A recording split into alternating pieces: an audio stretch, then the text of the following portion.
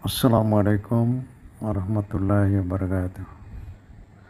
Berikut kita ikuti tausiah singkat bersama Ustazah Oki Setiana Dewi yang kali ini dengan tema ucapanmu adalah doa. Mari kita dengarkan bersama. Ajarkan anak-anakmu santun terhadapmu, wahai ibu. Karena engkau telah mengandung anakmu dalam keadaan lemah bertambah-tambah. Kenapa ibu harus dihormati tiga kali dibanding dengan ayah? Rasul bilang hormati ibumu, ibumu, ibumu, kemudian ayahmu. Karena ada pekerjaan ibu yang tidak bisa dilakukan oleh ayah. Apa itu? Mengandung, melahirkan, menyusui. Betul Bu? Itu tidak bisa dilakukan oleh ayah. Itu sebabnya kenapa Rasul minta seorang anak berbakti pada ibu tiga kali setelah itu baru kepada ayah. Ajarkan anak-anakmu berbakti kepada engkau wahai ibu. Bagaimana caranya? Caranya engkau harus menjadi contoh teladan terbaik untuk anak-anakmu. Jangan sampai seperti sebuah kisah seorang pemuda, ayah dan ibu maaf, ayah dan ibu datang kepada Amirul Mukminin Umar bin Khattab dan mengadukan perihal anaknya. Wahai Umar bin Khattab, anakku ini durhaka sekali padaku, tidak berbakti kepadaku. Tolong marahi dia, tolong nasihati dia. Apa kata Umar bin Khattab? Panggil anak tersebut datang kemari. Anak tersebut mengatakan, tunggu dulu Umar bin Khattab Amirul Mukminin. Jelaskan padaku apa sebenarnya kewajiban orang tua terhadap anaknya. Maka Amirul Mukminin mengatakan memilihkan ibu yang baik, memberikan nama yang baik dan memberikan pengajaran Al-Qur'an atau pengajaran agama. Apa kata anak tersebut? Ketiga-tiganya orang tuaku tidak melakukannya. Adapun ibuku tidak pernah mengajariku agama, tidak pernah mengajariku Al-Quran, tidak pernah mencontohkan kebaikan padaku, dan aku diberikan nama yang buruk, maka apa kata Umar bin Khattab?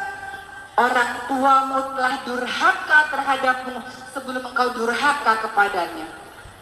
Kita ingin anak-anak kita birrul walidain, berbuat baik kepada kita ibu-ibu sekalian, ya.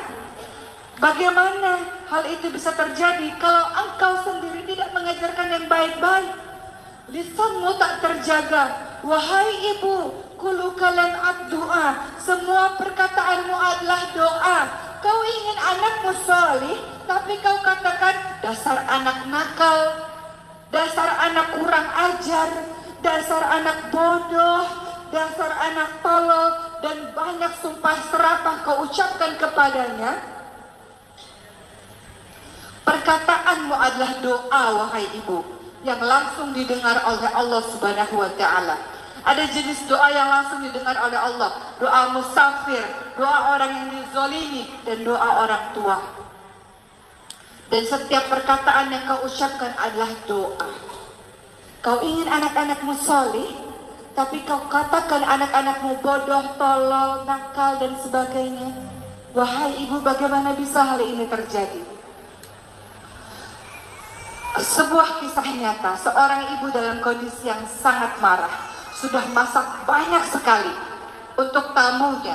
Tiba-tiba anak laki-lakinya yang masih kecil menaburkan pasir di atas makanan tersebut. Kalau itu terjadi pada ibu, apa yang ibu lakukan?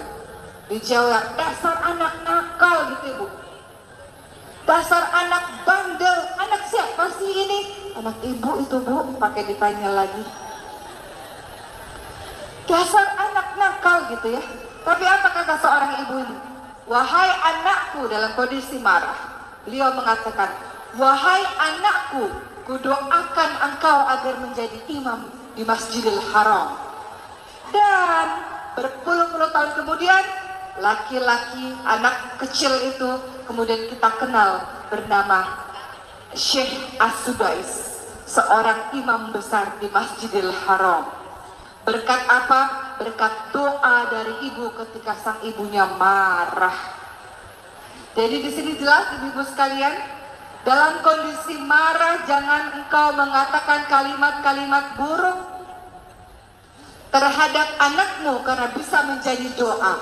Ketika anakmu mungkin engkau rasa mengecewakan hatimu, katakan anak solihah, anak pandai, kudoakan engkau nak menjadi anak yang sukses. Kalimat-kalimat baik keluarkan bu. Karena kalimat ibu ini luar biasa. Ibu katakan kuku untuk kau jadi batu, nanti jadi batu betulan anak itu bu. Ya, hati-hati kalimatnya bu ya. Jadi ajarkan anak-anak kita menjadi anak yang solih, solihah. Alhamdulillah telah disampaikan oleh Ustazah Oki Setiana Dewi yang mana telah dipaparkan tentang ucapanmu adalah doa. Kata-katamu adalah doa. Oleh karena itu, ucapkanlah yang baik-baik. Biasakan berkata yang baik-baik, sehingga boleh jadi pada suatu saat ucapanmu, kata-katamu akan terrealisasi. Demikian, semoga bermanfaat. Terima kasih. Assalamualaikum warahmatullahi wabarakatuh.